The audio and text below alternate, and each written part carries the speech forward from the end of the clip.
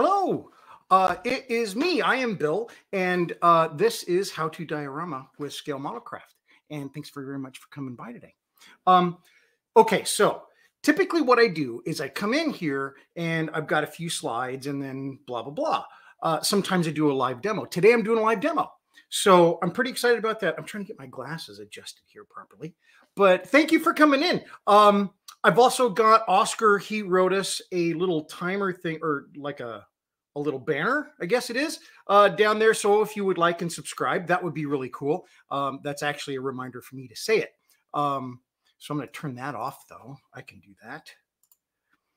And I've got some folks in here. So we've got Paul. Paul, hello. Thank you very much for coming in. I appreciate that. And and Mix Studio is here. Now, uh, it's Michael, but I don't know if you go by Mick because my father-in-law goes by Miko. So you, you, may go by Mick. So I would love to call you what you prefer.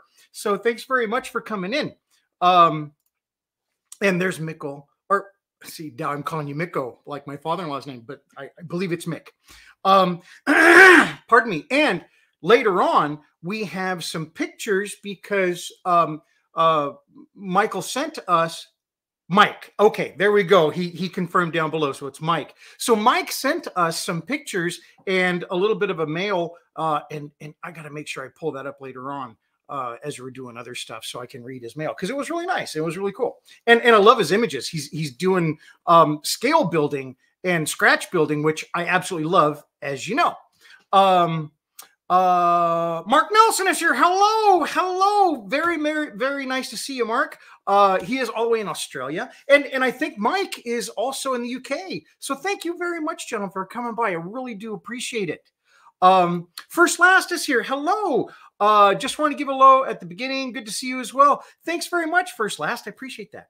Um, and uh, there's Mike confirming that it's Mike. Thank you very much. And again, he is going to have some pictures. Hello, there's Neil. Thank you very much for coming on, Neil. Neil Bullard is also, I mean, he is like my my vision of what I, I, I hope to become as a builder because how he constructs his stuff and the photos. Now, uh, Neil and I have talked a few times, and he's going to be coming on the show sometime. I don't know if it'd be like live or we recorded or whatever, but he's going to be sending me some of his images and and we we're going to have those kind of like we're going to have Mike, but I, I'm hoping that we'll have Neil on because Neil's really taken it beyond, well beyond even what I'm trying to do, and and I think it's the the, the direction I'd like to go because, I mean, he uses smoke and he uses atmosphere and has really set up his really amazing World War One dioramas where you're seeing the scene that he's done,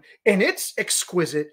But then when you see the atmosphere with the smoke and the lighting and the uh, amazing. So I I I know I've been kind of teasing that for a while, but you know we're just coordinating but it's amazing so um anyway i'm, I'm looking forward to that and i hope you are too uh, but we're also going to see mixed uh, mike's stuff today um i'm from uk but live in pennsylvania Perfect. So um, uh, Mike is living in uh, PA right now, so he is on the East Coast. So it's a little bit late your time. So I hope it's uh, it's good.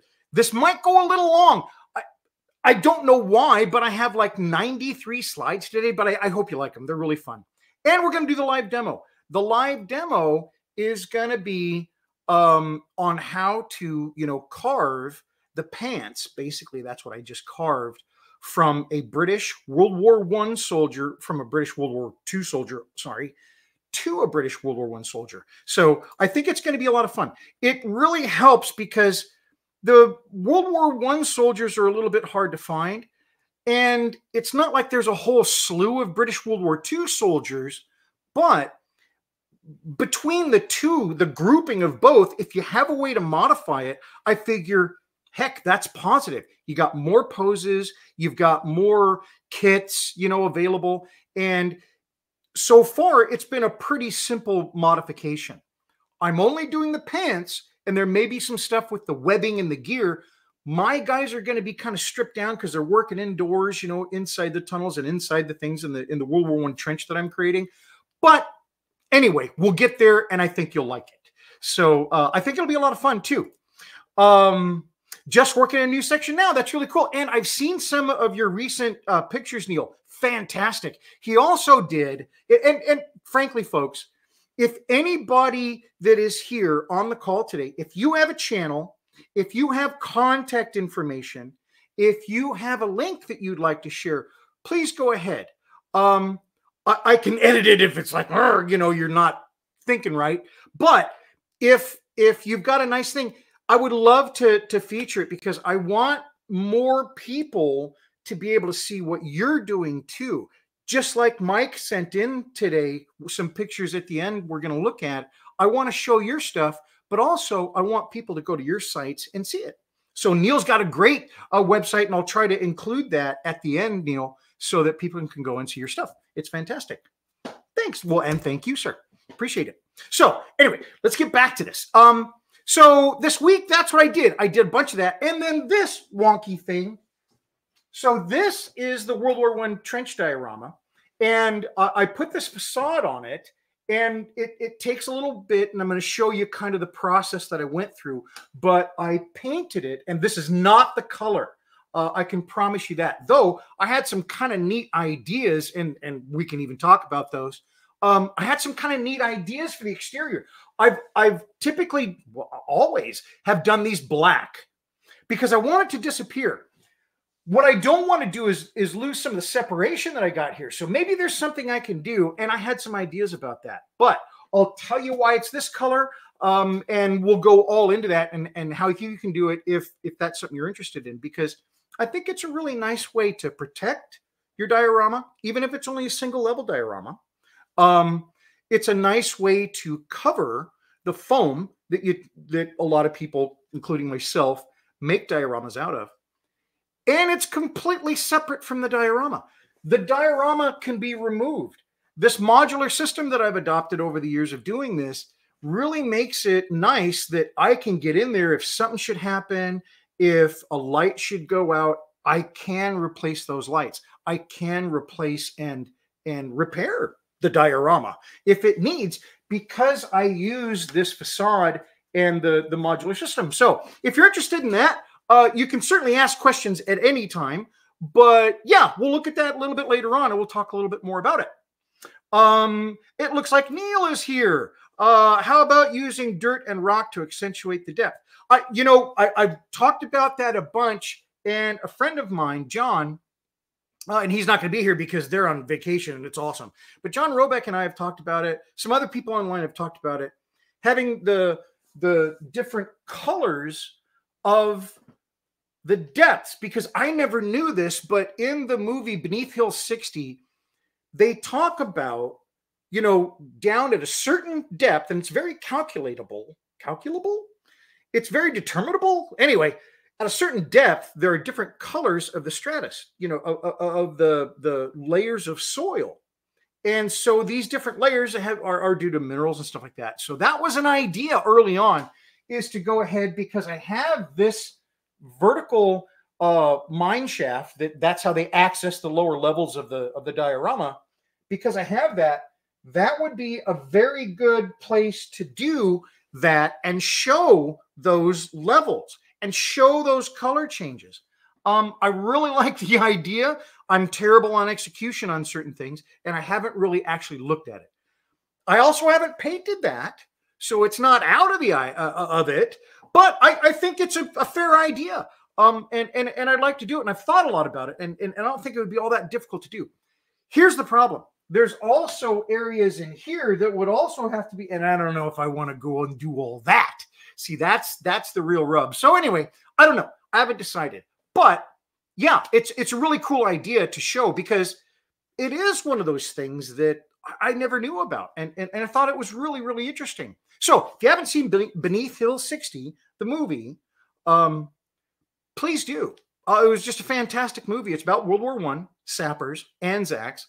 Um, and it was a lot of, uh, I, I, thought, good drama. And if you like that kind of thing, I think you would really enjoy it. If you're not a war more movie person and, and, and, you don't like that kind of stuff, I still think that it's quite interesting uh, because it explains a, a point in history. And though it's kind of like I do, you know, when when I'm building a diorama, I've, I've got a, a, moment in history in, in mind. I've got real, actual things that I'm basing on, but it's a story. It's a fabrication. It's a complete fantasy with what I'm building in my in my diorama. There are real people and real names, Captain Livens, for example, that's in here in this diorama. And one of the main things that it's about, the Livens Large Gallery Flame Projector, it's about that, certainly, but it's not necessarily um, stone accurate. I've never I've never heard of, honestly, and there may have been a two-story underground uh, room in a trench. I I honestly don't think they would do that. I don't think there was the need for it. Number one, what I've seen are really cramped, really low ceiling stuff like that, and I've gone beyond that in many places. Uh, right here, and I'm going to show pictures just as soon as I'm done yammering here. I'm going to show a lot of tight pictures of the inside because there's a few things that I want to talk about there. But you'll see what I mean. This is a pretty high ceiling. All the movies that I've seen, all the references I've seen, I mean, they were like trying to bump their heads and stuff or, or protect themselves from bumping their heads. So that's one of the reasons they would actually wear their steel pots underground. And of course, the, the, the, the possibility of a cave in. But see here I go. I, I if you ever watch this, I go on tangents. But it's going to be pretty interesting, and and and I think those are some of the things that we're going to cover because um, when you're trying to model this stuff, it's important to get enough facts so it's not just a complete. I mean, it could be like an alien thing if I just go bananas, and it could be on a different world, which is perfectly fine. But I do want to couch my stuff in um, reality and then stretch that reality like you might in a movie or a you know a fictional novel or something and that and honestly that's what i'm trying to do i'm trying to create scenes that are interesting within the structure of my diorama so and we're going to look at tight shots next so thank you very very much neil for, for your question hey is it is it bog fart or bog fart uh, but thank you very much for coming in and, and, and hello. I don't know if I've seen you before, but that's really cool. Martin is here. Hello, Martin. Hello, boys and girls. Cheers from Holland. Thank you very much for coming in. So we've got folks from PA, we got folks from Holland, we got folks from Australia today. It's really fun. Thanks very much for coming in, folks. So why don't we get to these pictures that I've been yammering on about? And uh, I'm going to show you what I've done lately to the diorama. So I am going to switch this over and uh, I don't know what that is. We're going to go to this picture. See, look at that. It's like I almost know what I'm doing. So um, I like to start these things for folks maybe that haven't, you know, seen what I'm doing. I'm building a World War One trench diorama. The trench is on the top, but then I've got this, you know, on the left hand side, you can see uh, I've got this vertical trench going or, or, or tunnel go oh gosh mine shaft going down. And that's how you access these lower levels. These lower levels there's a lot of tunnels coming off of them and it's based around um, a real thing the livens large gallery flame projector which was an underground flame projector that actually was invented in 1916 by um, captain william h livens and then it was deployed three times in 1916. And it's a flamethrower, and it would actually shoot flame into the German lines. A devastating machine. Then the uh, unique thing about it was it was in a tunnel. So it was not above ground. It was in a tunnel, and it rose up through the turf, and and then it would it would you know shoot its stuff into the German lines. So it was pretty unique thing and, and pretty devastating. So that's part of this. So that's what you're going to see in some of these pictures we're going to look at. So let's look at those.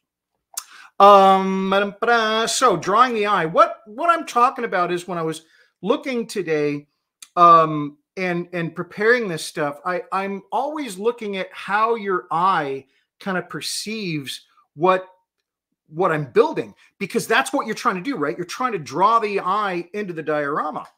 So in here, I started looking around the diorama and I noticed that there's like three focus points or three focal points that I kind of do in a specific view.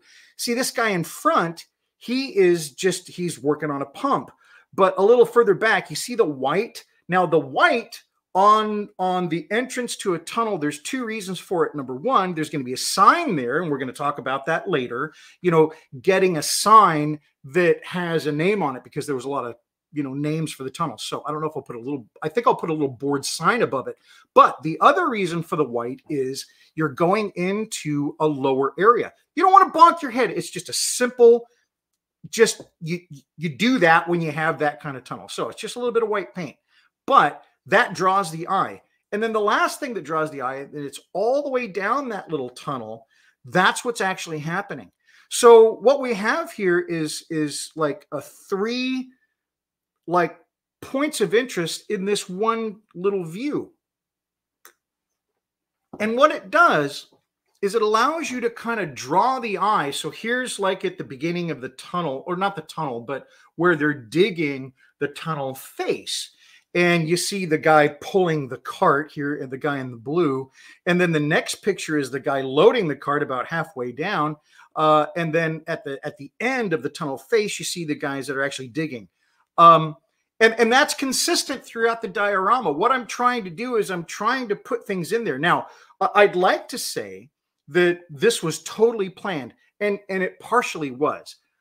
I talk about that a lot. When you're doing your diorama to try to get somebody to look deep into a place you know give them something to look at right give them something that's going to draw the eye in it can be a color it can be a shape it can be a, a, figure it can be a lighted element you know a lit element whatever it's it's something back in there but you don't you don't necessarily because the angle or whatever they're coming to. So as they come up to the diorama and you've got this little room back in there, if they're not exactly at that angle, they can't see all the way back into it. So you got to give them something, a little bit of bait, a little bit of something to grab a hold of at the beginning to, to then get them to look down and then look further in. Okay. So again, I, I'm not trying to say that I'm all like all this smart and figure this out. It's just that that seems to be what happened as I was trying to draw people in, I just noticed this thing that there are these in threes, these little steps to, to just about every scene that I've kind of created. So, and I thought it was neat. So I wanted to tell you about it. Makes me look a little bit smarter, maybe, but again, complete accident. Um, so let's go back and look at some more pictures. So now this is where they're working on the um, uh, on the Livens large gallery flame projector in the lower portion of it. There, now you're looking at the middle guy that's trying to build something. Then all the way in the back, then you see that guy, you know, the officer, and he's yelling at something. Who knows? You know, officers. Um, uh, no harshness on any officers out there.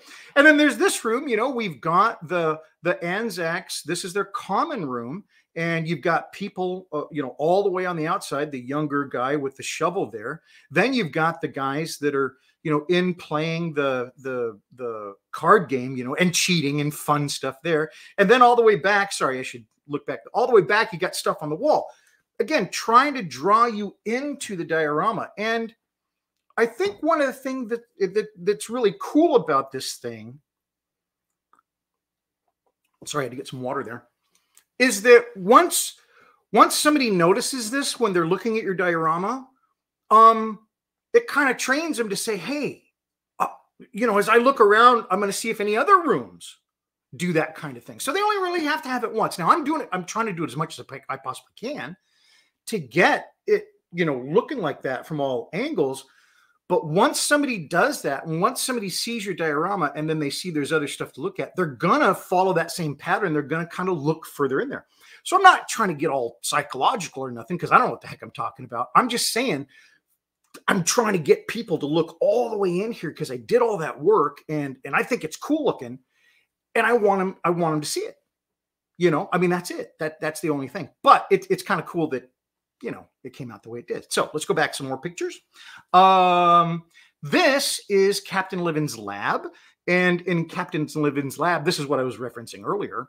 Um, you know, I, I, can't imagine they would have a two story lab underground during the war under the lines. And that's the other thing that's complete fantasy. This was developed, this was a real thing.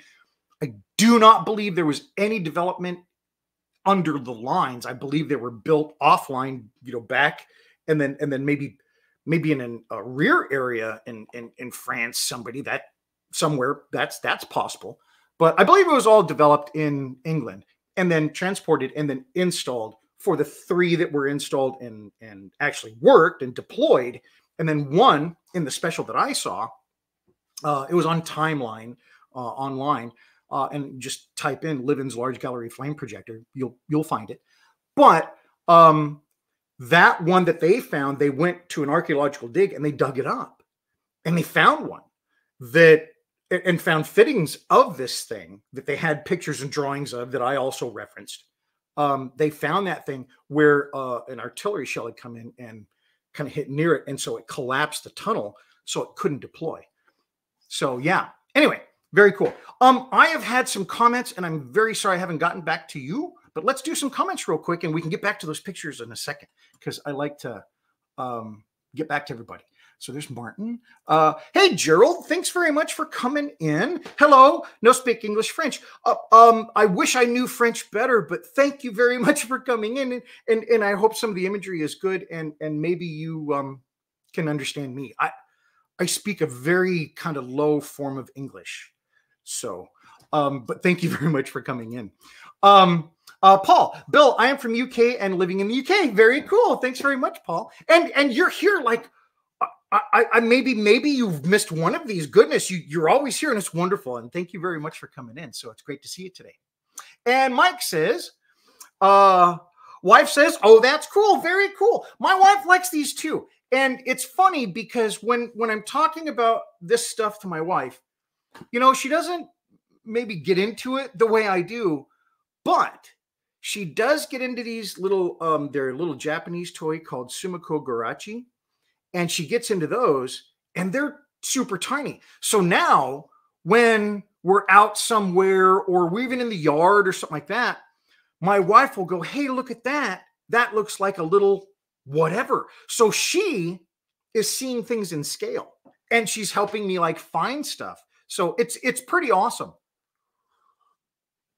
So I love it when your wife or your partner, your husband, whomever, you know, you have it's really cool when they kind of get into it and, and, maybe they're not into model building or maybe they're not into dioramas or whatever but when they can like you know kind of enjoy some of those little moments because like you pick up a straw and it's like well that looks like a pipe and you know what i'm saying? That kind of stuff is really cool or certain ferns look like just miniature plants or bushes and it's they're just like a dead knockoff for a smaller version of something you've seen big and so look at little ferns. That's a that's a great one. Anyway, let me get back to this because I always get sidetracked. But thank you so much. Um, and then Mike says, uh, "Wife says hello. She's got the video up on the big screen. Wow, very cool. Thanks very much. Uh, you know, I hope I, I, I anyway. I'm not going to even go there. But anyway, thank you so much, and thanks very much for coming on. So let's look at these pictures again, and let's see what we got. This is, like I said before, the big room. This is the two-story room, and in here, I don't know if I really adhered to that uh, same formula of having a three step depth where you're, you're looking at things, but you can kind of see it. So as we as we go around it here and we we look around inside here, I think there's enough in the in the front that catches your eye and, and does that same effect. It's not as deep as some of the other stuff. And so it does draw your eye in. And I think there's enough interesting stuff in there that you know I, I, I sometimes talk about payoff. You know, you're looking in here and you look back in there and it's like, ah, you know, it doesn't look all that great. But I want you to look back in there and and feel like you discovered something, right? I mean, that's part of the fun. You know, you're looking in these things and you don't really know what's in there and and you see something and and you you're like well look at that you know and and and if it's something you didn't expect that's what makes it fun. So that's why i put this stuff in here. I i want it to be kind of like a, a payoff I, I call it you know? If you're gonna get down maybe you know duck your shoulders down a little bit and look into this thing i want you to look inside here and see something that's interesting and I'm I'm really trying to think about everything that I put in it. You know, this is Captain Livens uh, like upstairs in the in the area and and and this is what he's looking at so he's got diagrams here and these are real diagrams by the way from world war one that era and, and and all the maps and everything and i've, I've just you know found them uh, shrink them down, and then I can put them in here. But it gives a little bit more depth. And and and what I do is I try to just put myself in the diorama and say, if this is my task, how am I going to do it? Here's some frustration. He's got stuff on the mm-hmm. floor, you know, because he's just like, no, that's not going to work. Because the other thing I want to do is I want to have a little anxiety in here. So here he's standing upstairs in that large room and he looks to be kind of imploring, you know, with some documents as proof, you know, of, of a point he's trying to make. And then down here we have the French commander, and the French commander in in, in my little storyline that I've created is the local French commander because this is in France, of course. And so this is the local French commander from the the the the, the local militia, if you will. And um, you know, he's got his own data. You see, kind of tucked under his arm, you know, and and and, and he's got that kind of stoic, you know, he's got his arms crossed. He's not happy at hearing what he's seeing or or hearing what he's hearing, I should say. So I wanted to try to little create a little anxiety, a little conflict because I, I thought it was necessary. This is his assistant. You know, we've got the the um, chalkboard here, and he's also trying to show proof of like, look, this is the work we're doing. This is what we're trying to get accomplished. So anyway, it's just that kind of, you know, the the the uh, thing I'm trying to create in in all of this is something interesting enough so it's going to draw your eye in. It's going to look at the diorama maybe a little bit longer. It's going to you know you're going to feel like you found things in there you know you, you're going to feel like this is interesting enough that I'm, I'm, I'm glad i looked at it you know i guess is a, is a good way to look at the at the whole enterprise but i want to build something that's interesting and so when i talk about this stuff i'm i'm yeah i did it but i'm i'm, I'm also hoping that you're picking up on and that's what you want to do if if you're looking to do something like this you know that's the other thing um, not everybody's interested in building this kind of stuff, but for me, it's a lot of fun. You know, it's many, many hours. Um, we are on week 21. So I kind of order things, and I, I started talking about this, I think, here last last week. Um, I order things in weeks now. It just makes it easy. And I started this on week 29 of the year. That's when I started the diorama. And it's it's week 50. So the end of week 50. And so, yeah, it's 21 weeks I've been working on this thing. And and the neat thing about it is I've only worked on this this time around. In the past, I've worked on multiple projects. I said this time it's only this. So with the daily shorts and all that kind of stuff, you've been able to see the entire build, the entire progress up until now. Up until now, and then of course, you know, uh, I, I hope you're liking it. Um, so I don't know. I, I think I'm just talking at this point. So let's go back to my slides because I want to show you how to modify these guys. Now, the cool thing is, is I do have my camera set up so I can show you real tight how to physically do this. But we're going to look at the pictures first because it really explains kind of how I came to this, you know, modifying them to do this. So what we are doing here, oh man, see, I should have been doing this while I was yammering. I need to get back to this. Oh, back it up. Sorry. Okay. So this is how to modify scale model figures. This is the first time I did it because because this is the third time. You know, that's the thing is this one is like three. That's means this is the third time I've done it, and and we've looked at different things, and so I kind of wanted to review that a little bit because in modifying these figures.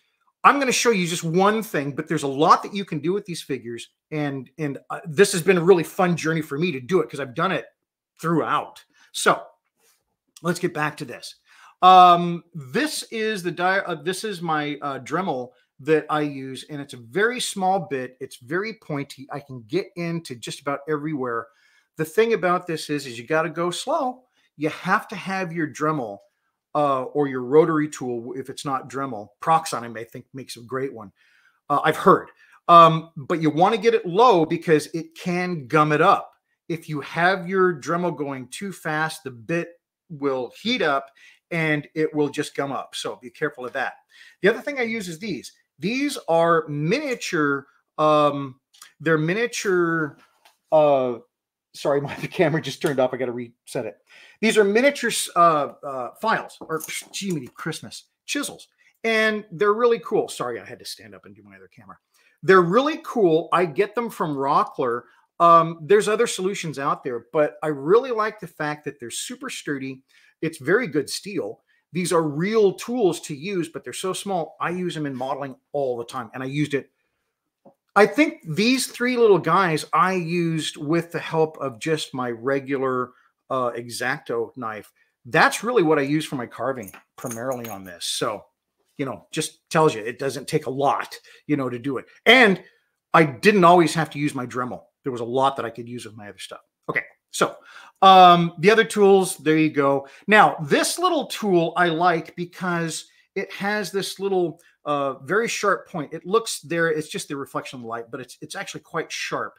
Um, and that I use a, a lot. This is a, a dental tool that's great for scribing uh, and actually scooping a little spoon scoop. So the first modification I did was this. This guy, I wanted to have a t-shirt and uh, short pants on and just shoes, right? So I wanted bare legs, I wanted shorts, and I wanted, you know, bare arms and and no webbing and stuff like that.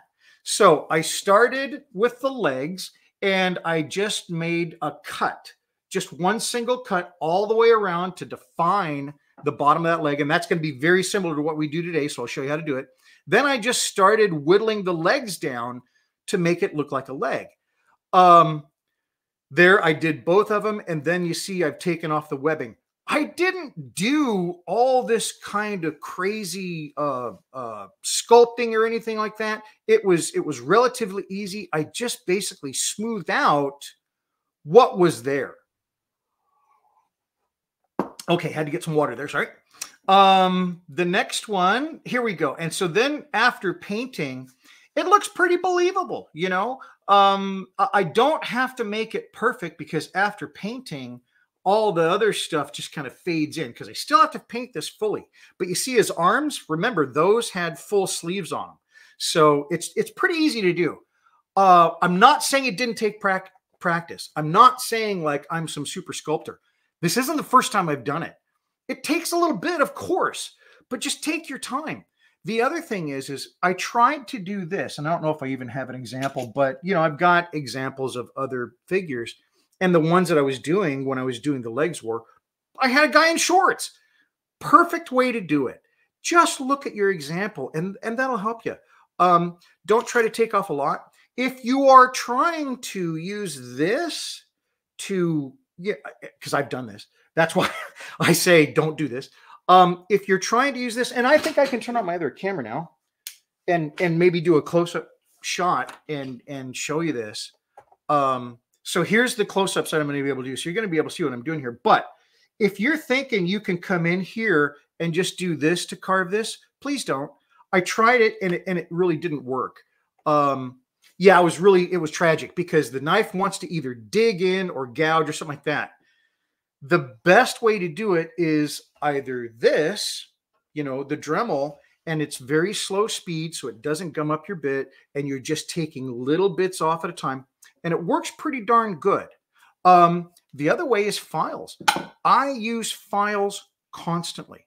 It's a little slower. That's perfectly fine. You want to kind of just take it down because remember that whole thing, I can't add any more. I can only take this stuff away. So I want to just go as, as, as slowly as I can. When I'm carving something, and we'll look at that today again, I'm trying to distance myself from it and look at its general shape. I don't. It, it, it's really easy to do this because I think as a model builder, you're you're you know really in there and you're trying to get rid of stuff and you're trying to carve stuff. When you're carving it to get a general shape of the lower leg, you know, or the the torso or whatever you're doing, come back away from it. That'll help a lot because then you can get an overall perspective of what the leg should look like. If you're always in up there, because I did this too, you know, like here's the leg, but after you've been carving it for so long that it looks like it's coming out of the thing wrong because there's a lot of plastic down there you got to remove and it's easy to. So just take my advice, go a little bit farther out every once in a while, and then come back in. So let's look at some more pitches. Uh, that's not the pitches I want to see. So, um, but um, let me get over here.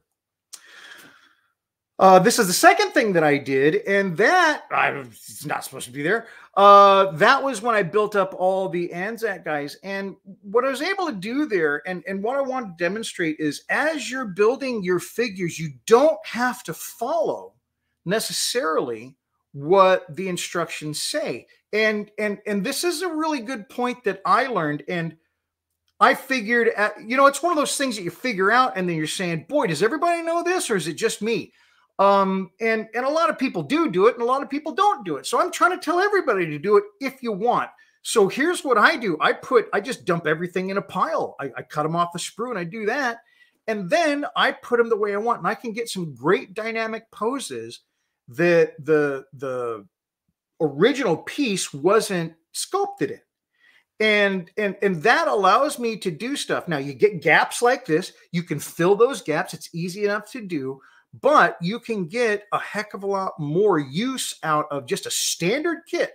I'm not buying, you know, any of the the the more expensive and and and and, and quite possibly really nicer kits, but I'm not convinced. I've I've had wonderful kits. Now this is another one that I'm I'm really uh, I thought this was kind of fun. Uh, oops, I keep on going to the wrong pictures. Um, when you're trying to do your like the angle. Okay. Somebody's leaning forward or someone's leaning back. There are differences that they put in these kits.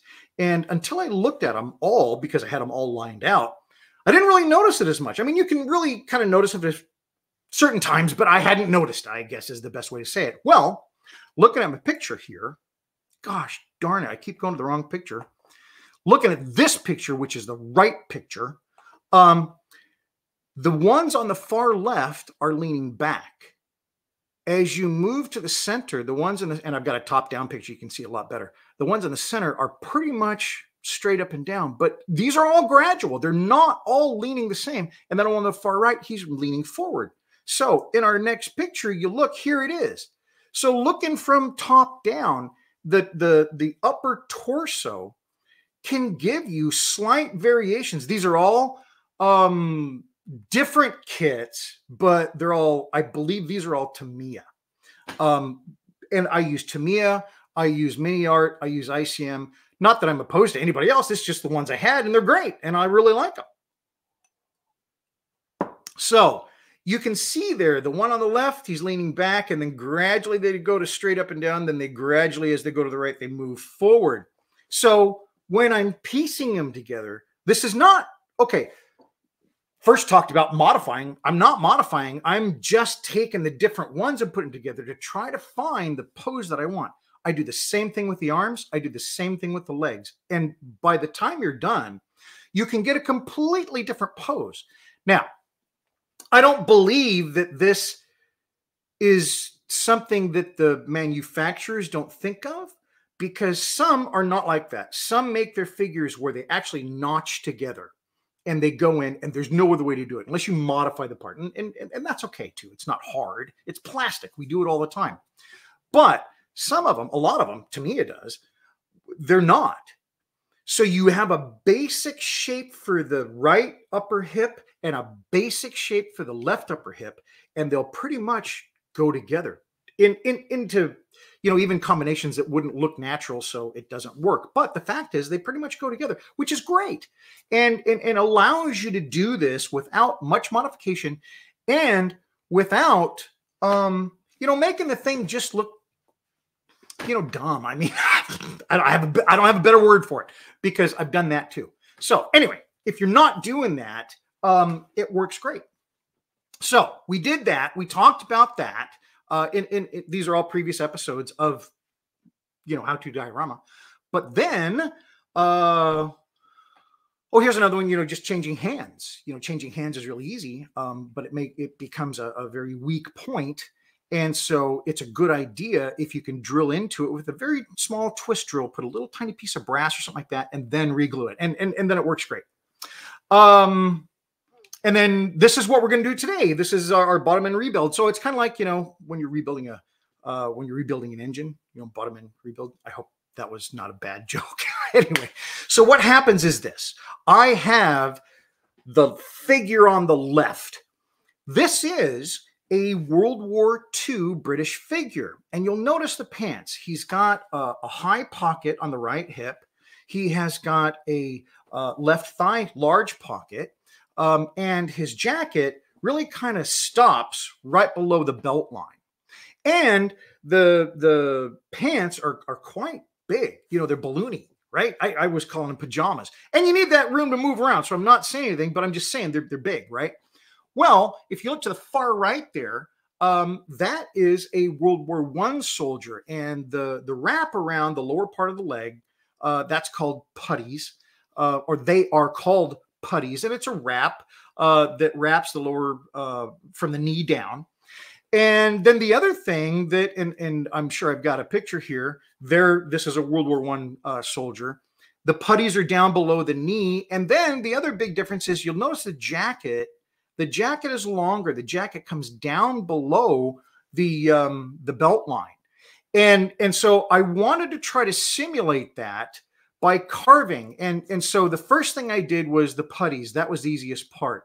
And to make this line, you see the cut line uh, around right below the knee. It's just as easy to to you know use this knife and and this is a little bit modified so this is a standard standard X-Acto knife, uh, hobby knife, if you want to call it. I cut mine a little bit short because for me, it just makes it easy to get into to small places. But I'm just taking that very easily, very slowly, um, and, and, and I'm rolling it around. I use a support. I have a, a wooden support that I can, and it's and it's you know locked down to my desk, and it, it allows me to cut on stuff please don't do anything that I'm going to show you today freehand. There's there is a, a serious danger, as we all know, in using these sharp tools in very tight quarters to their hand. So that's the first thing I do. Um, and then I just simply start shaving that away. I'm doing that with my uh, Dremel, my moto tool. Uh, I've got one other person that came in. Go for it painting is here. Hello, go for it painting. Thanks very much for coming in. Great to see you. It's been a little bit. Um, so after I have done that and kind of gotten down to the area, and, and this might be a little bit hard to see, but I'm taking the chisel, I'm taking the small chisel that I have, and I'm working my way around. Um, I need to to bring up my other camera. See, this is this is gonna be bananas. I'm taking this and I'm cutting into underneath that cut that I've made because I need to level that out. I need to kind of get me a nice right angle on uh, where that that top pant leg is coming in to where the puttee is tucked around. So you want that to come in.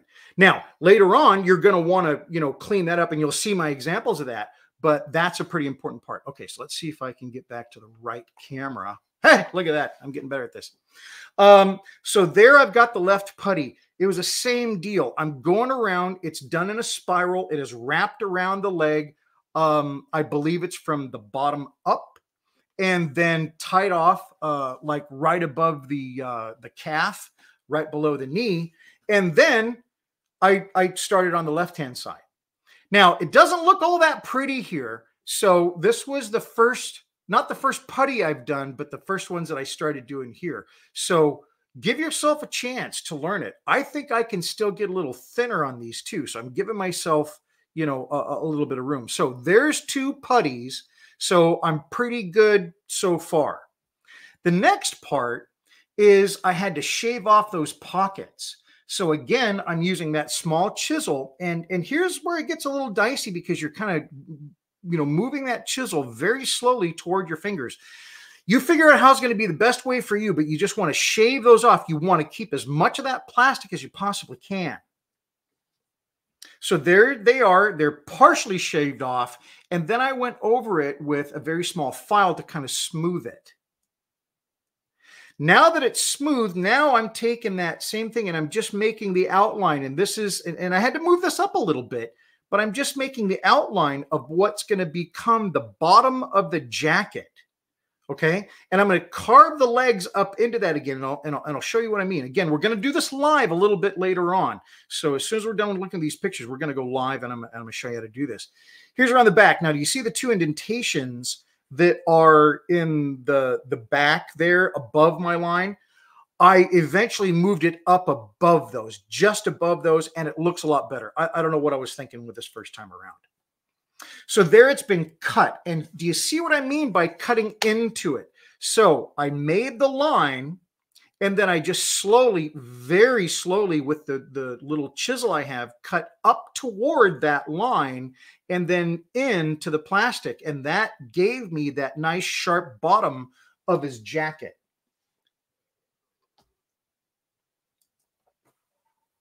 Here's the front because it was the same thing with making these pockets. So all I had to do here was to make that pocket, I just draw it very lightly. I, I, I don't have to bear down. You know, when you're working real tight there, it's real easy to think, oh, I can just get this in one shot. Right. I, I thought that. That's why I'm saying that. I'm like, wait a minute. If this thing shifts, if this thing moves, you know, right into my finger. So super careful here. Um, so little tiny, little bits at a time. And it still doesn't take long, right? So please be very careful here. So um, after cutting those in, I just went back over it a few times with the file. And, and this is where it stands right now. So looking at those puttees, I think that I've got a pretty good representation of a puttee. I think that I, I hope you can tell I took the bottom of the pants where they tuck into the puttees and I did round that. That's important. If it comes off like the the jacket above, I don't think it looks good. I think it needs to round off because they're tucked in. Um, the other thing is, is I think the thighs on this are a little bit thick. I think I need to to, to bring the thighs in a little bit, and I think that's going to finish this figure up. So next, we're going to do this live, and um, I mean, look, I'm going to do the whole thing. So I could take some time. I hope that's not a, a big issue. The camera that I'm doing it on, I don't know why it like turns off after 20 seconds or, or 20 minutes. Sorry. So I'm going to have to like maybe stop if you lose uh, the picture, but it's just I got to turn it on. it takes a couple of seconds. So we'll work through that. But now we're just going to show you how I did it. I don't know what the sound's going to do because I'm going to use my, my uh, Dremel and it's going to make a little bit of noise, but it, it shouldn't be a big deal. So let's do this. Uh, I got my camera on. And we will switch to that camera. All right. And so remember, oh, that's my new figure. Here's the other thing I came up with, and this is probably not um, like really uh, a smart one. Don't put the arms on yet. I had the arms on the other figure before I started this project, and uh, and that made it really difficult. So do it before you put the arms on, and it goes a heck of a lot better. So uh, the first thing I did, and I'm gonna do this just like I did it. I'm gonna turn this over. This is just like my working block. It's it's my riser, and it allows me to rise this up and and and uh, you know get a little work on it. I'm using my chisel. You can use the your other thing. I'm identifying the knee. The knee is right there. You can kind of see it. It's very light in there. And I'm just doing this. Okay. I'm just rocking it back and forth. I'm not going heavy. I'm not going too hard. I don't want to cut my fingers. Um, and then you have to kind of, you know, each time I'm doing this, I'm trying to find a stable place. Is I'm sorry. Uh, I want to make sure I'm focused, folks. I'm, I'm concentrating on what I'm doing and not if you can see what I'm doing. I'm very sorry about that. Here we go. So let's get there. Focus, focus. So I'm just rocking it around there and getting that in there. I think what I'm going to do is I'm going to um, I'm going to lock my focus so it's not auto focusing, and then I think that'll be better. So let me do that real quick. I'm very sorry about that. Okay. Okay, folks, now it's on me to keep in the in the right spot. But I think that'll be better. So I've got this like marked, okay? And the only reason I marked it is because when I come in here, I just want to know where I'm going to. These little deals on the bottom of here, these are like little straps for the, the new stuff. I don't know what they're called. They're from the World War II uniform. They're not necessary, so I'm going to go over that. So I'm going to clear all this out. And I'm just going to taper it down and, and try to get that so that I've got it smoothed out in the shape of a leg. I hope that is not an annoying sound. And one of the things that happens here, of course, is I'm going to get a bunch of this stuff coming up, all the fuzzy stuff.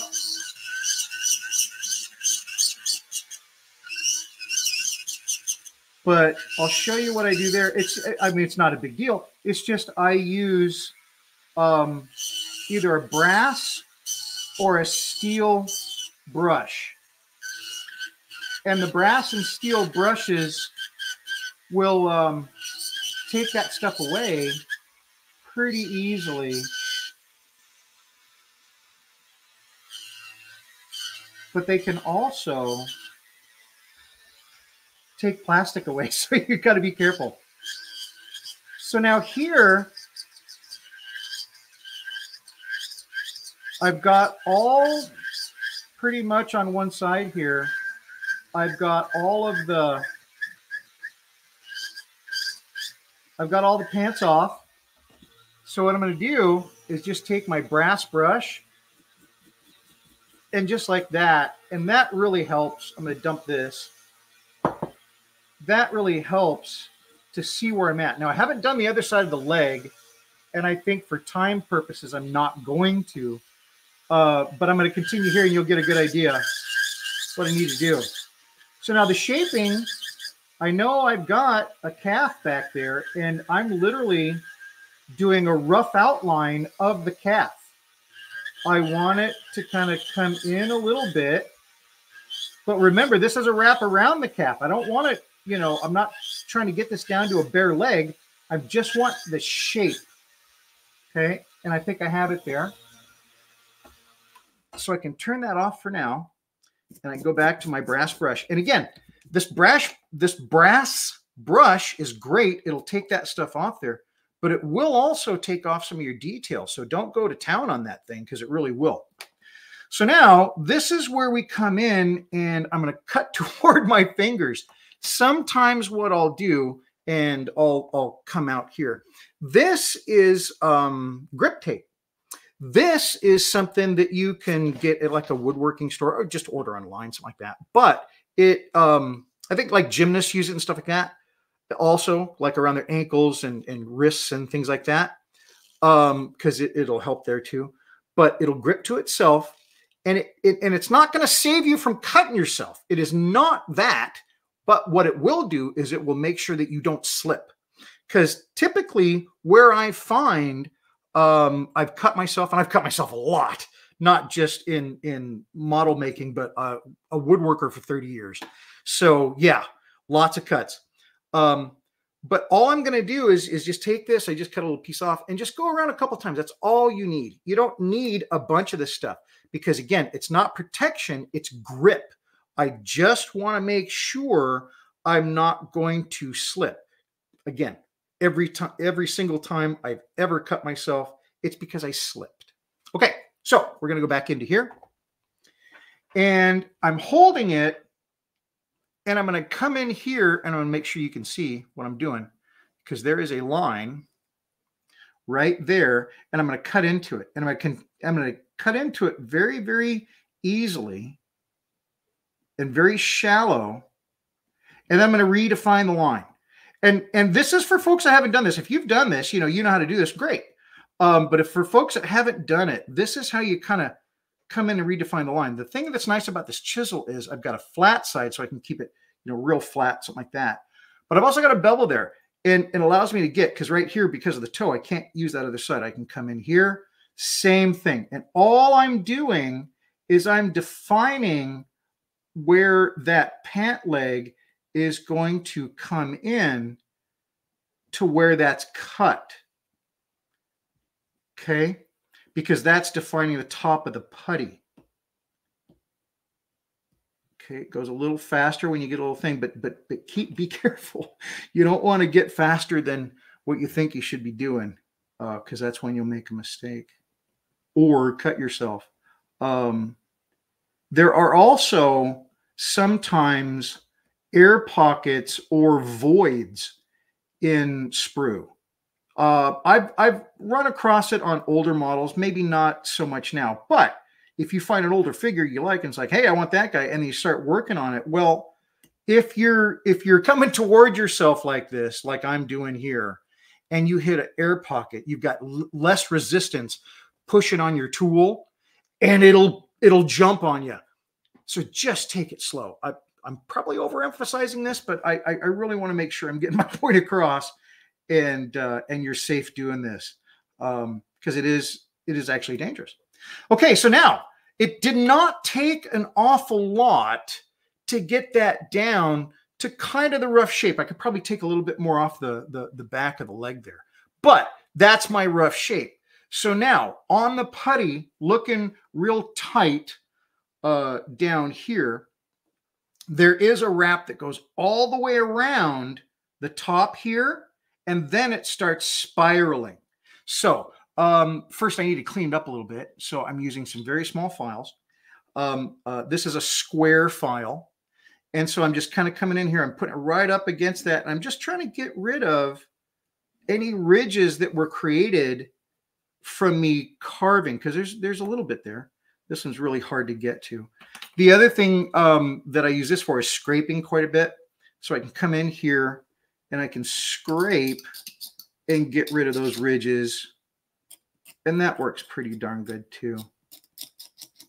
You know, uh, when I started woodworking years ago, one of the things that I adopted was there's a right tool for everything, but it doesn't mean that's the only thing that tool does. So um, I like to understand what this tool does, you know, what it's meant for, but just like scraping, you can do another tool that way too. Okay, so that's done. Now I'm going to go right back to this. Now I've got, this is the third one. This is the largest one. And that just, I like that one for cutting uh, around.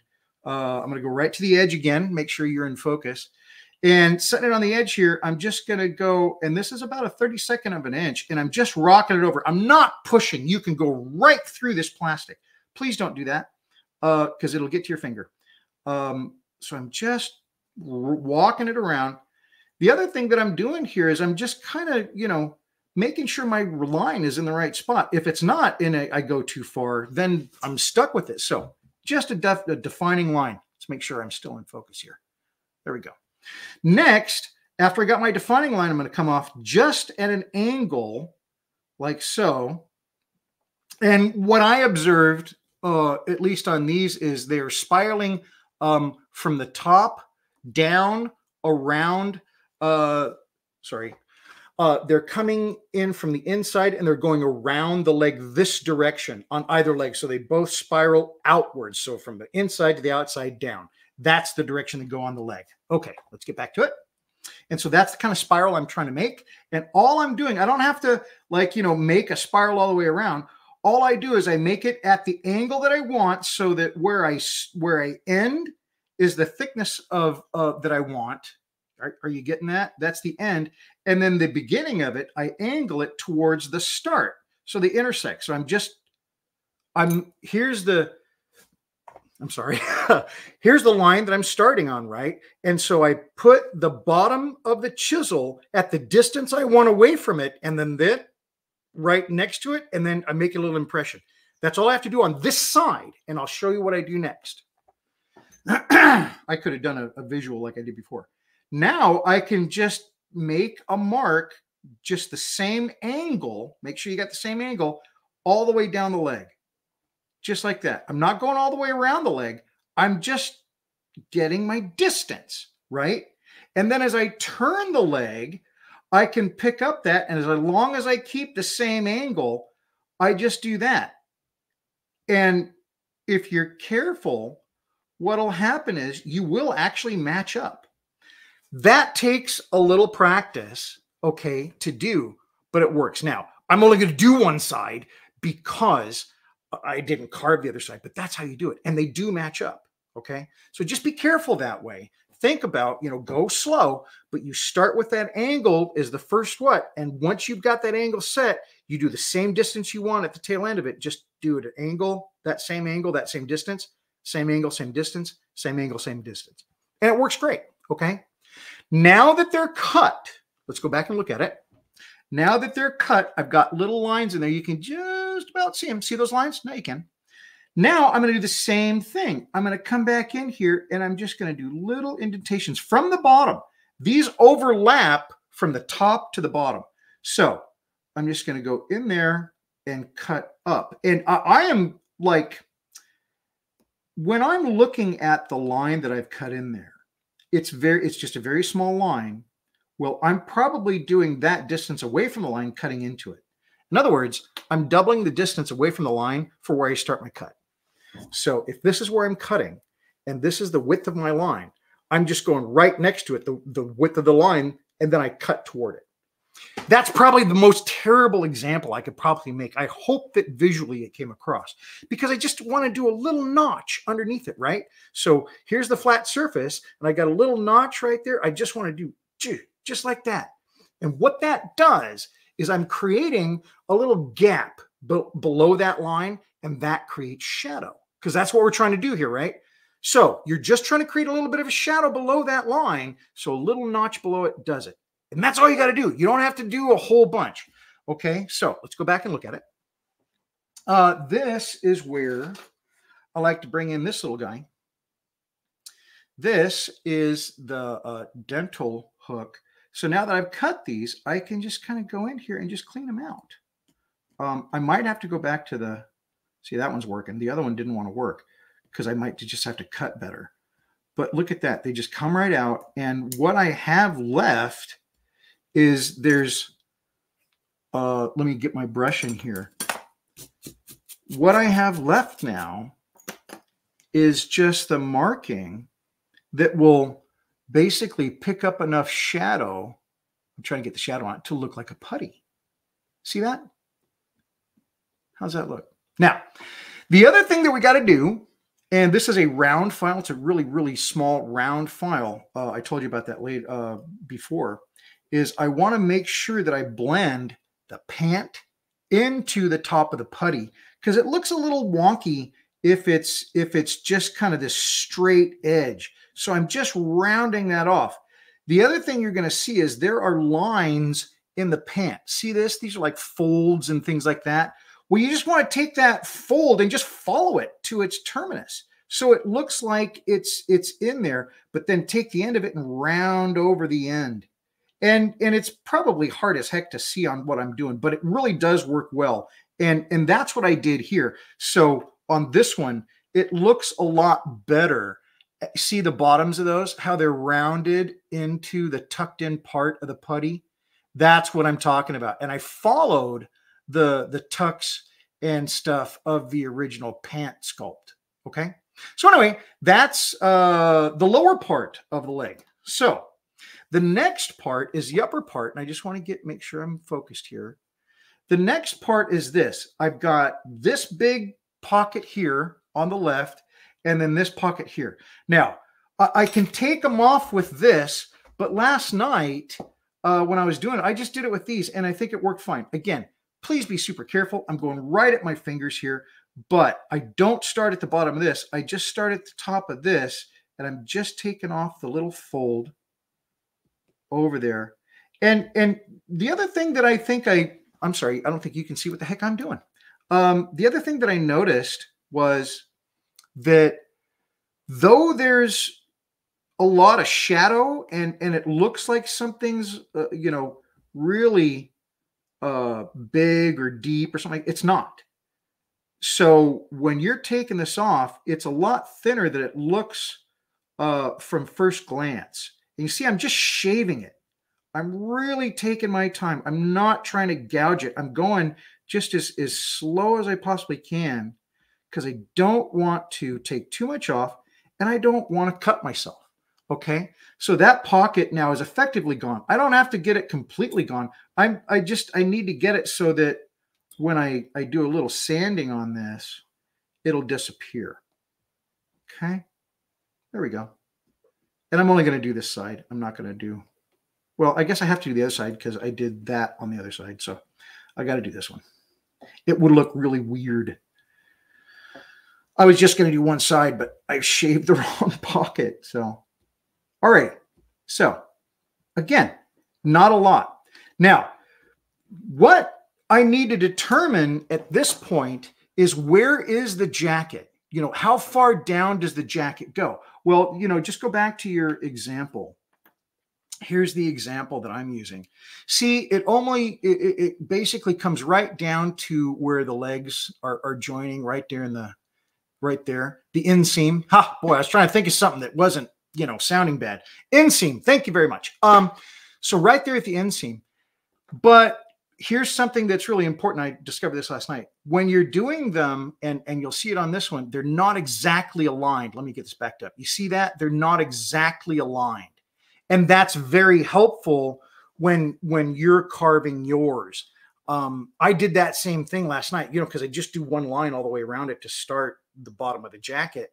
But when I came to that center point, initially they just lined up. It looked weird. If one's just a little bit shorter, one's a little bit deeper, one's a little bit further out, that works good. So that's what we're going to do now. We're going to do one side, but you'll see what I'm saying. So we now I'm going to go back to my um, chisel. And I'll, tell you what, if you don't have a chisel, you probably got one of these. So let's do it with that because I want you to know that you can do it with either. I'm just doing with with the, the the tool I like. I'm trying to get this in the focus point. Sorry. So now I'm I'm, I'm holding him. I'm going to hold him this way. I'm holding him a little bit higher, and right there is where I'm going to start my cut. And and just like before, I'm just rolling, kind of just you know, I'm not really trying to get a heck of a lot in there. I know that I'm going to need enough for a pocket because there's a pocket on either side. And here's where I got messed up last night when I was doing it. I kind of followed like this and got too low, but don't. It, it should come straight back. I think Oscar just woke up from his nap. That's the noise you hear in the background. Um, hey, buddy. How you doing? You went down? I'm sorry, folks. Oscar just woke up and he needs to get down. He's uh, he's always up on the uh, bench with me. Okay. So back to this. You are very patient and thank you very much. Um, so we're just cutting along there. And, and as I'm doing it, I'm trying to make sure, you know, I'm looking to make sure I'm going to line everything up. I, I, I want it to look, you know, everything to line up. I'm going to cut a lot off the bottom, but I'm not going to cut a lot off the top. I will have to trim some of the stuff above this line, but only really to kind of smooth it out. I want to preserve as much up there as possible. So now I'm going to do the same thing that I did. I'm going to turn it over here. Same thing that I did at the bottom uh, below the knee. And I'm going to take my chisel. You can't, well, yeah, see, there you go. I should do it with this. You can use this. And, and I'm just going to slowly go into it. Um, a lot of times, and, and if you've used a hobby knife a few times, um, because you use it so much, the um, the tip the heel of your knife is the one that uh, is the sharpest. So a lot of times that's what I'll do is I'll just come back here to the heel for something like this. You know, I I'm telling you, you got to get a set of these. They're about 30 some odd dollars. Uh, and it's not a bad investment because I'm telling you, they're so much better for doing this kind of work at least. And I use them for all kinds of stuff. But I really like doing them for this. So there's that. Now, um, I did the wrong side again, but I think it's come along. Now remember, as I'm I'm doing these cuts up from the bottom, I will need to come in and redefine this. I'm going to redefine this. If if what you're cutting upward toward doesn't separate, that's all you have to do. Don't try to flick it up. It's possible, depending on the the kind of uh, uh, plastic you're using. If it's brittle, it could break or or damage another portion of it. And and I don't want that to happen to you. So I'm just going to do this. Can you see? I want to make sure that I'm I'm getting this on here. Um, there we go. I think you can see that. I just need to get this stuff knocked down enough to see the bottom of the jacket. And and it needs to be, you know, it's a separate article of clothing. Think about it like that too. It's not just something that you know you're trying to get a little bit of definition out of like the pocket. That's that's what we're doing after this. Um, so once I got those, I can maybe get those off. But here you redefine the bottom, and I think we're going to have our jacket bottom done.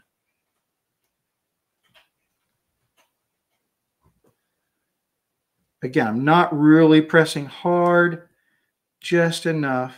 And we'll come back and work on the leg because like my other one, I think it needs some work on the leg. But for now, that is our jacket bottom for the left side or his right side, sorry. Okay, so there is the bottom of the jacket. Let me get a better. Why am I all of a sudden blowing out? Okay, can you see that? So we've got our bottom of our jacket there. That's better. And I'm going to have to come back to this this leg and and do a little cleanup there and and you know get those folds in, but I think it looks good. Now, a couple of things left. I've been talking about the pockets. Yep, they're going to have to go there. But the other thing is going to be the split, the jacket split. Now, the jacket split, you need to really make sure because it's possible that you twisted the top like I've done here. You've twisted the top of the figure a little bit so that the the uh, top of the shirt doesn't align with the fly that's down here. So don't just use the fly as what you're going to have for the split in the tails of the jacket. Do it from this or it won't look right. You got to do it from the shirt above because it's the same article of clothing. So I'm going to come in here and I'm going to look where that is. It's a little bit off from the fly, and I'm going to just make one cut right there. Okay. Then I'm going to come over here and just, you know, a little bit of an angle because I want to kind of come up and then come together. Sorry. Uh, I want to come up and come together. So just a little bit of an angle. Um, I'm going to cut down here and just like that. That's all I need to start this. I'm just trying to define you know, the parameters of where I'm going to be working because there is a lot of work here in the inseam because I got to bring this stuff in, you know, kind of like this and and stuff like that. Show you exactly what I mean. Just like that. Got to be really careful here because uh, your fingers. And there you go. And that looks a little bit better. So that is the split in the front. And now that I have that there, now I can kind of judge where I want my pockets. And that's why I wanted to do the split before I did the pocket. And I'm going to try to angle this so you can see better. You can see that split. So now the pocket, let's look at those. Uh, some are less pronounced. This one has good pockets, maybe not. Man, where'd my pocket guy go? Um, I got a guy with great pockets and that's what we are looking for. Uh, I think this guy has got great pockets. Well, he's an Australian guy. Anyway, there are pockets now because I can't find anything.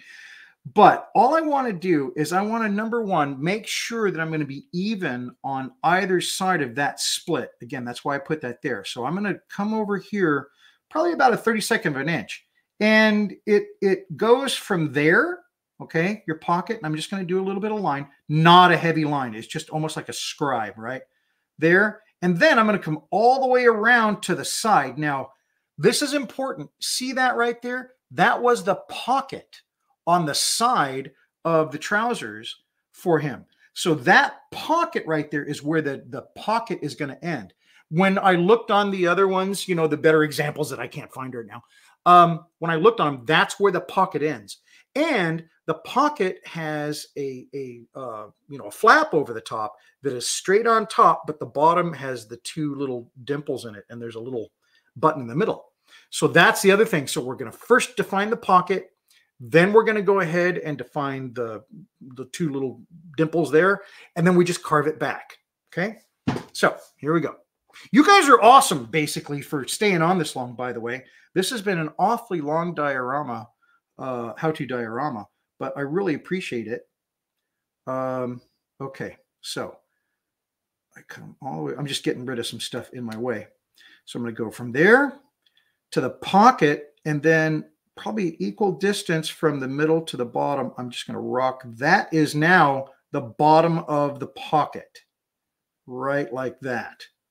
So I'm doing the same process. Now, this is, you know, you get pretty practice at it because it's just, it's basically the same thing on every one of these that we've done. Sorry, I'm trying to get this back in focus for you.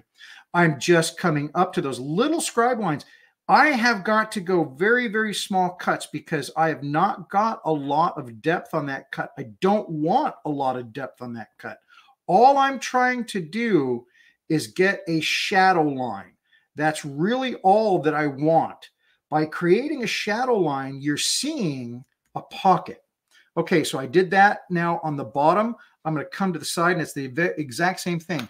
Here, I've got a different chisel. This is my smallest one, and it's really nice to come in here and I'm just defining that line. There's that scribe line I made.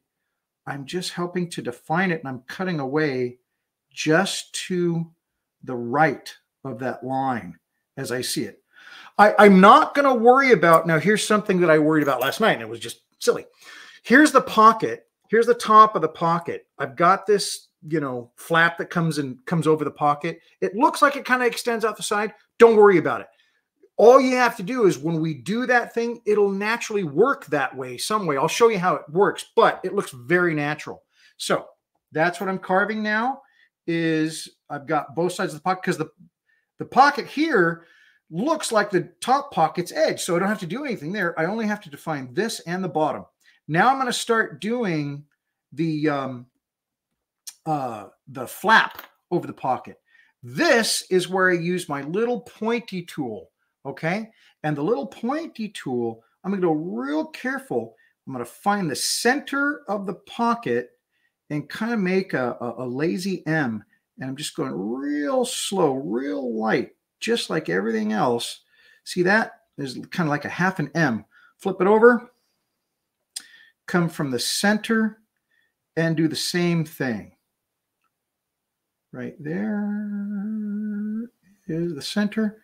And I'm going to come up and do kind of like a lazy M right there. Now, right now this one actually works pretty good this way. Um, here, because this is so small, this area is so small, I can just kind of scrape below those lines that I made. And I'm removing enough material underneath it to get the shadow line I'm looking for. You know, the, the important thing about the top of this, uh, his pants, AKA the, the, the bottom of his jacket is there's, there's enough material there if you're careful with it, you know? Okay. So that's one side. See if I can get the, I'm going to try this. This might be a little bit faster actually.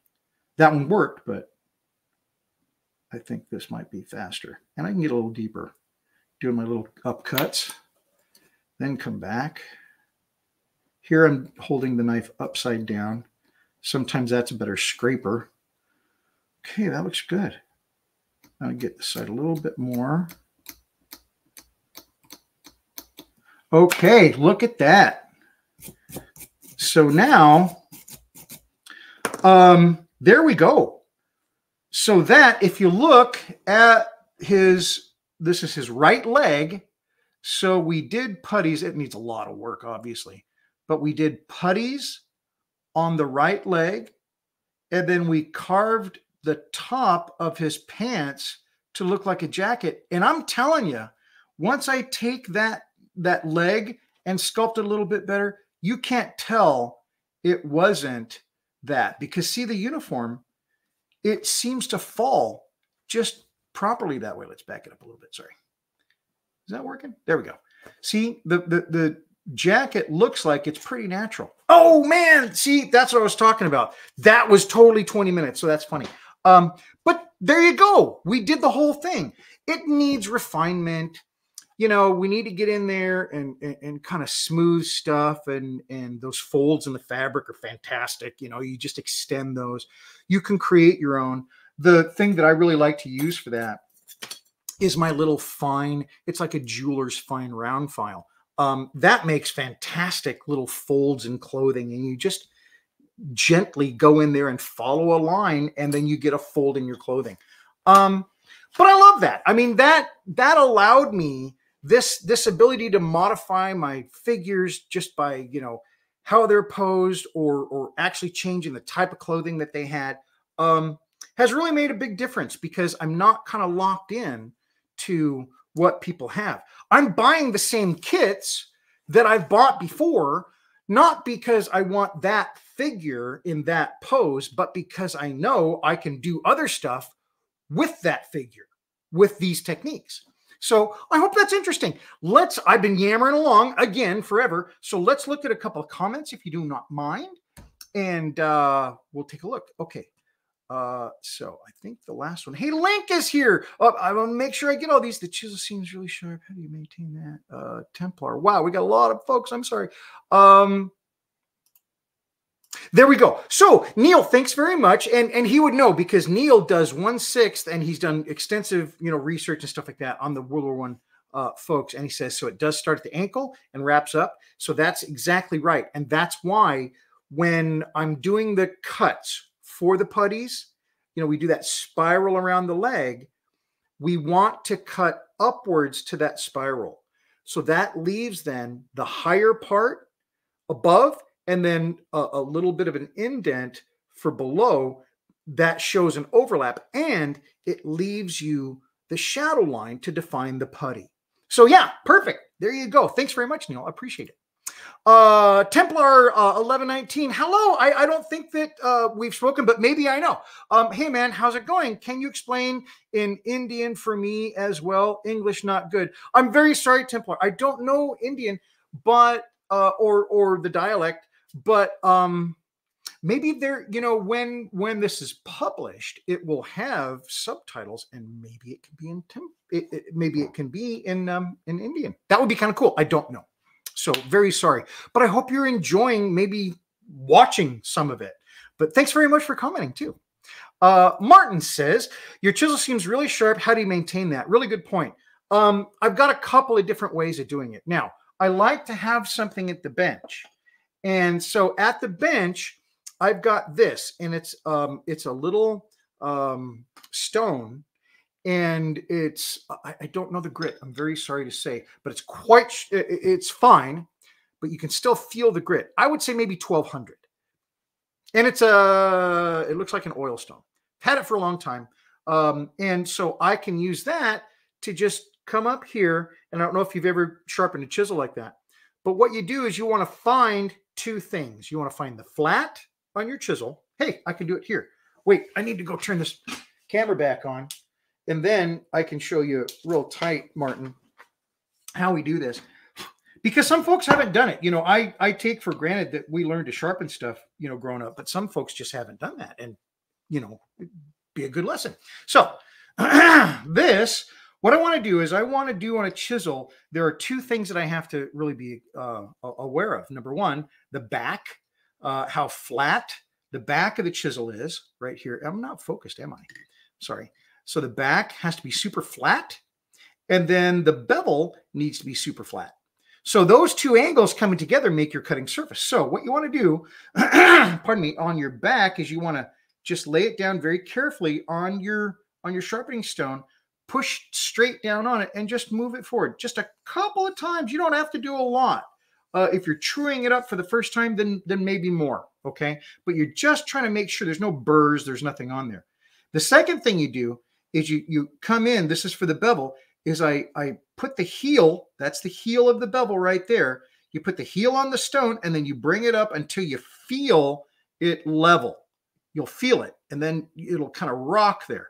Once you've got that, you hold that angle and you go very carefully forward. Now I'm I'm not putting any pressure. I'm just holding that angle. And over time you'll learn how to do that. Now, the last thing you can do to keep that sharp is to use a strobe or a strop. Is it a strop? I think it's a strop, um, which is leather with a bit of rosin on it. Now, I don't have one here, but you can buy them and it comes on a little card and it, and it really actually works quite good. And it that leather with that um, uh, honing compound on it, you can just draw that right across there and something that you think is dull, sharpen right up. I've got a professional um, knife sharpening machine over there. It's called a Tormek T7. And um, I, I, have that from my woodworking. And so I can just take any of my tools and just right over there. Works great. Um, but they're about a thousand bucks. So yeah, you, this is much cheaper and, and, and works fantastic. Um, and keeps them super, super sharp. And the sharper they are, the safer they are because you don't have to push as hard to cut. So Thanks very much for that, Martin. Link, hello. It's very nice to see you, Link. I haven't seen you for a while, so that's great. And I love it when you chime in. That's really awesome. Uh, hope you're having a great day. Uh, Neil says, the puttees look good, Bill. Thank you. I really appreciate it. You know, one of the things that I did um, on the one that I finished, and, and like I say, you know, you have to do a little bit of cleanup and stuff like that. When I did the puttees on the first one, I cut into the surface. You know, you do the straight line on top and then you do the little cut into the bottom to create that little shadow. I did that a little bit too much. Well, it worked out great because I was able to use my file and, I, and, and, and by filing over that, like the length of the leg, you know, the spiral is going this way, but I'm filing it over this way. I was able to reduce the size of the leg a little bit and it it it reduced my cuts because I'm remo- removing that material and it kind of leveled out. So if you do think you've cut too deep, just try sanding it back a little bit, filing it back a little bit, and you'll get a, a, a less of a cut. So just remove some of that other material and it'll help. Uh, and that worked for me. Um, thanks very much, Neil. That's awesome. Is that a Vera, Veritas chisel bill? Yes, it is. And uh, Veritas, Verit, Veritas, Veritas, I, yeah, me in English, remember, remedial. Um, and I'm English, I'm, I'm yeah, anyway. So these are fantastic. It's a set. They are from Lee Valley Veritas, and it's a Canadian company. Um, and I've been buying their tools for 20, no, 30 plus years. And they're fantastic. I really love their tools, very high quality tools. They um just really nice. I I, I like their stuff. Uh, I've got a lot of the books. I I can't tell you how much I have gotten from them over the years because it's just I can't can't calculate it. Really great company. Uh, highly recommend Lee Valley. Um, and these are part of a set where each year for the past 17 or 18 years, they come out with a miniature set of tools around Christmas time. Um, and my uh, my wife, Mrs. Modelcraft, uh, right when it started, she got me the very first one and every year thereafter. And that's what I have for my uh, miniature tool bench, which is a fully working tool bench in small scale. These are third scale, but my bench is not really third scale. Um, but yeah, I love these tools. They're fantastic and they are meant to take an edge. They're not junk. They're not just like a toy or something like that. They're real tools and I use them all the time. Uh, wonderful for model building. Okay, so thank you very much. Uh, and then Neil says, Bill, watch out. Your diorama just got hit by your chair when you turned around for Oscar. I know it just, man, I did that earlier too, and I didn't have the the uh, cover on it. Um, my wife was in here, and I turn around, you know, and oh yeah, it's pretty tough, I will say, but I don't want to, I don't want to mess it up. So thanks very much, Neil. Very cool. Okay, folks. Wow, uh, it seems hard to say, but we're not even done. I hope you can stick around because we do have some pictures from Mike. Uh, he sent some pictures in, but we're going to talk a little bit more about, I don't even know what's coming up, but stuff. So let's go back to this and where and what is next. I don't even know. Oh, this is another guy that I built this week, and, and I thought it was really fun um, because he needed, I needed some guys in the lift room and the lift room is above the vertical shaft it's it's right here this is the lift room and i wanted something i, I like to put something fun in the diorama And so this guy's holding a stick. And then I built this little set of crates here for him um, to lean against. And he's going to be dangling a sign down in front of the Anzacs, um, you know, their, their tunnel entrance. So I just thought it was kind of fun. And so I wanted to throw that in. Uh, so next, uh, facade work and tunnel names. So I want to talk about tunnel names and I want to talk about facade work. Um, this is the facade that I built. And I think I've, I've discussed it well enough, but you know, it protects the diorama. It's made out of MDF. Um, it's got a, a, bunch of stuff inside structurally to, to hold it together and, and it's meant to protect it. And so I, I built it and here you can see some of those corner structures that, that, that help it uh, you know, stay together. Those then have to correspondingly be cut into the diorama because, you know, they kind of have to fit into it. Works out great, no problem. Um, but then it kind of locks it in. It it also still allows it to come out. I had it out earlier today. Um, it can all come out and come apart. So I really like my design. I put a, a bottom on it uh, this week, and then I sanded the whole thing to include the edges, and then I put um, yellow wood glue and water, a 50 50 cut of it. So it's just, you know, diluted with 50% water, and then painted the whole thing. And, and what I mean the whole thing, it's the whole thing. Um, when you're doing woodwork, you'll you'll learn real quick that if you should coat one side and like seal it off okay and and it can and it can be a property of what you're putting on it like this you know the the water and the yellow glue you put that on one side that can make the wood swell or expand. Um if i don't do that to the other side that's not going to swell or expand the same as the one that i did put it on and that can cause it to warp you know it'll kind of do that because one side's not swelling and the other side is that's not where it ends. Later on, after it completely dries, it's quite possible that that swelling will retract as it dries. And so it'll retract, and then you've got a sealed side of your wood, and then you've got an unsealed side of your wood. Now, humidity in the summer hits your hits your wood project, okay? And the humidity in the summer is going to affect the side. Remember the side that didn't cause the warp last side, the dry side, but it didn't get any finish on it. Well, now this side that had the finish, you know, that caused the warp the last side. Well, now because this side that doesn't have any finish is getting moisture from the air, it's going to swell. And it will cause it to buckle or possibly move. So this is just something that you you you learn about wood specifically MDF because MDF is is particles.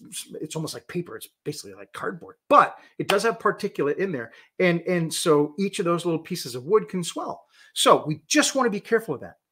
That's why I say if you're going to put a finish on your wood, put it on everything. Do the whole thing, and then everything can swell and retract as it's wet and, and dries out at the same rate and then once it is dry, the entire surface of your MDF is now coated.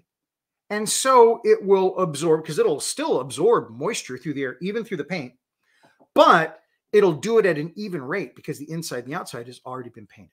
Okay, so that being said, that's why I coated it.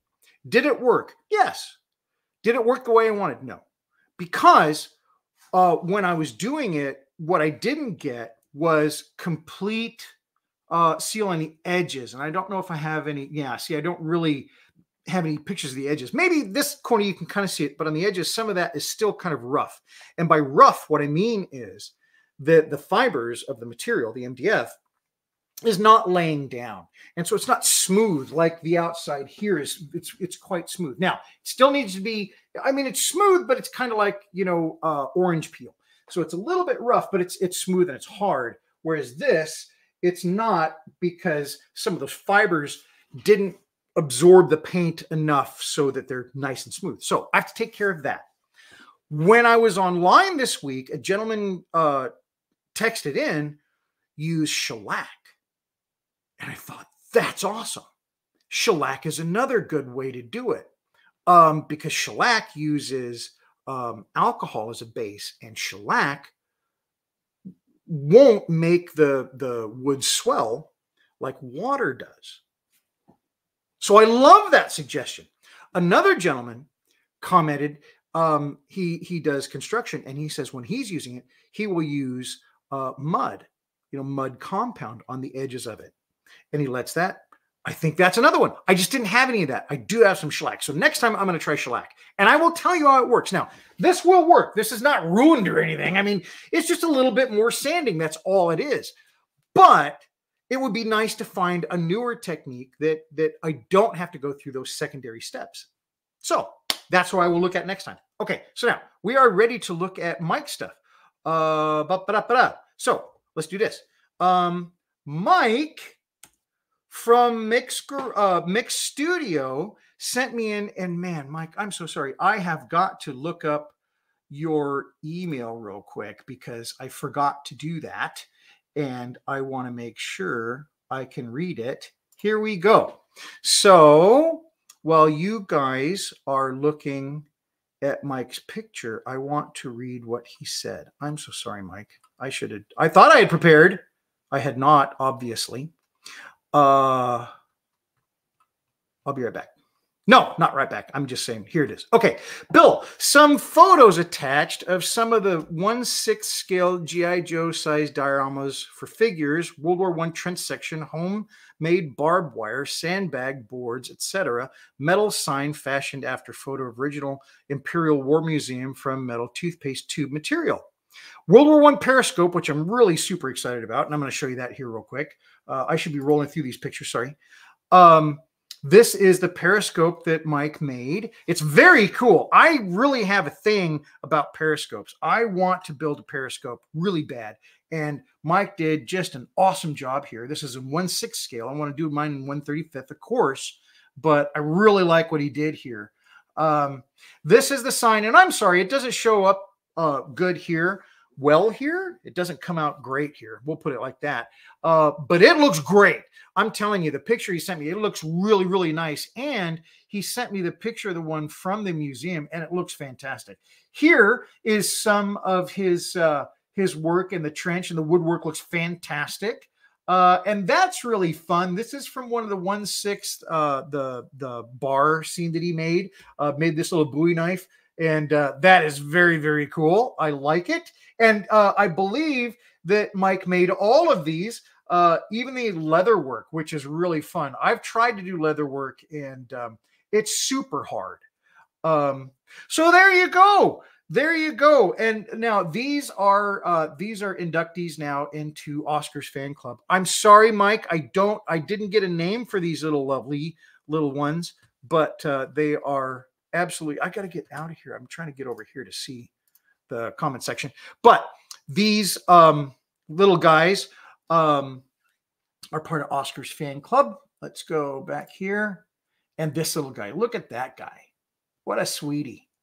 Okay, so last, almost last thing I want to talk about is this week and a half ago or something like that.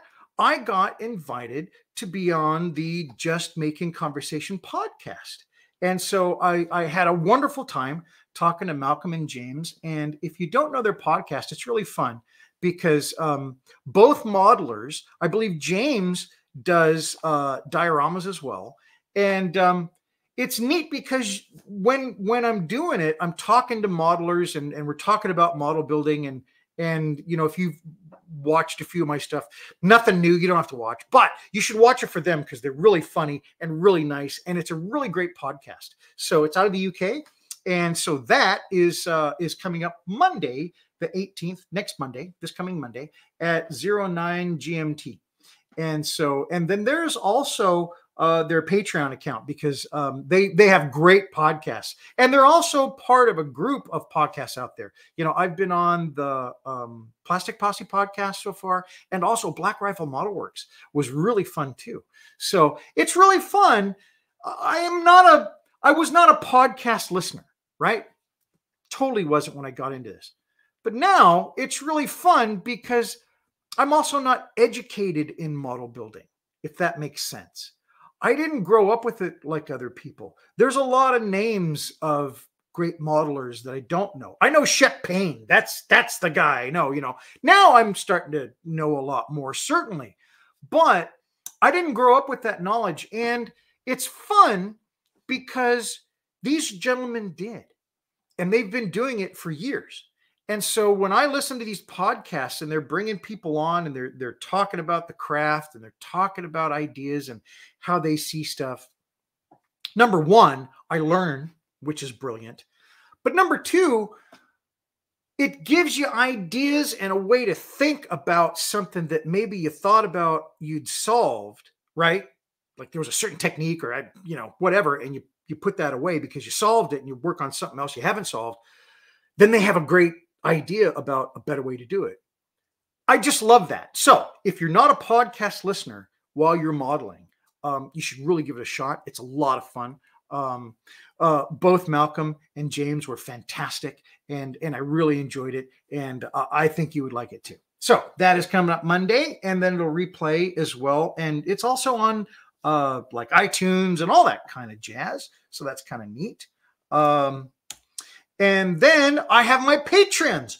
Uh, okay, so now today is uh, uh, really special because it's the third Friday of the month, which means that all my patrons, well, all my paid patrons can be in a live build. Um, so what I do is each third Friday of the month, I do a live group build, and it's open to all paid patrons, no matter what the level if you're at the top level, it's every Friday. We do it every Friday, right? Um, and it's three hours. It's 6 p.m. to 9 p.m. And it's a lot of fun. Um, I've also been putting stuff, more stuff on my Patreon channel. So there's more things to see. And you can now be part of Patreon without paying. And I just have to figure out, you know, what I I have for this group and that. It's kind of a pain. But it's kind of fun too because I can have different levels for other stuff because there are levels where I work with you one on one. And it's not just me hammering on, it's you're on the screen too. And we're talking back and forth on stuff. So that's a lot of fun. So my patrons are John Robeck, Evan Davies, Daniel White, Scott Gentry, Stephen Robbins, Neil Maker, uh, Mark Doremus, Joshua Scott, and Ryan. And and like I said, I've got a, a, a uh, a few others too that uh, are not paid, but um, I don't have them up here. So sorry, but they're really cool, and I really appreciate you coming over and checking that stuff out. And you can do memberships now on my YouTube channel. You can do a member, you can do thanks, you can do all kinds of different stuff on it. So that's kind of cool. Um, it's part of the monetization process that I was trying to go through this week. So I've got some more comments here. Um, ba, ba, ba, I've got some wood carving knives that work great. Bill, watch out you don't. Okay, so Neil says I've got some wood carving knives that work great for carving plastic. Absolutely, and and that's a thing. When you get into a wood carving knife or a wood carving uh, chisel or, or, or implement, whatever, a lot of those use a little bit higher carbon steel. I have for years had like these things and stuff like that, and you know, flexible knives and stuff. But it's really nice to be able to use something like this and it's not going to flex, right? This is a thick piece of steel. And when I'm using it, it don't move. So you know exactly where that blade's going to go. There's no flex on it whatsoever. And that's a little bit different experience with, you know, with these hobby knife blades or whatever you're using. So it's it's nice. I, I think you would might like it. So yeah, check them out. Um, mine is covered with mud. There you go. Um, I like the mud on yours. So what he's re- referencing, of course, is Mike's um uh his his trench, and I want to do like Neil did, and and you're going to be able to see him if you haven't seen him already. Um, Neil has mud everywhere, and it's awesome because the, the like one of the very first pictures of his World War One diorama I saw was of the duck boards and you're looking at the duck boards and the mud with them and then the like the steps across the duck boards man it looks like real. It just looks real. So yeah super cool. Really dug it. So i just i just really you know thought it would be really cool. But i really like the woodwork and how you know you're simulating the woodwork like mike did. That was really cool. Lily and Lacey. So Lily and Lacey are officially in the Oscar fan club, and he is a fan of Lily and Lacey too. Um, I don't know where he's at now. Oh, he's right over here. But yeah, Oscar is 20, and so he's got his own deal going on, you know. But uh, that was very cool of you sending him. Uh, if you're a cat lover, you're in. You're good in my book. Um, okay, well, folks, I think that's about it. Holy cow. It's been like a little while that we've been on today. And I really appreciate you sticking around. It was an awful lot of fun for me. And I hope you got fun stuff like figured out for this weekend. Um, I've got uh, a meeting tomorrow uh, that I'm going to go to, AMPS Seattle. It's their monthly meeting. And if you haven't checked it out and you're in the Seattle area, um, check out AMPS Seattle. It's a great, great club. And though it focuses on armor, there's a lot of subjects in armor, you know, and, and that's what AMPS is about. It's the armor, uh, Armor Model Preservation Society, I believe is what it is. Um, I'm not a member, but I'm a member of the club and I really like it. It's got a different judging system, though I'm not into competing, but it has a different judging system and it's about you. And it's about your skills and your improvement and improving your skills as you build, which I'm huge into. I love that. So, yeah, AMPS is really cool if you haven't checked it out. I'm also an IPMS member. I love IPMS. Uh, there's a little bit of weird stuff going there, but I love IPMS.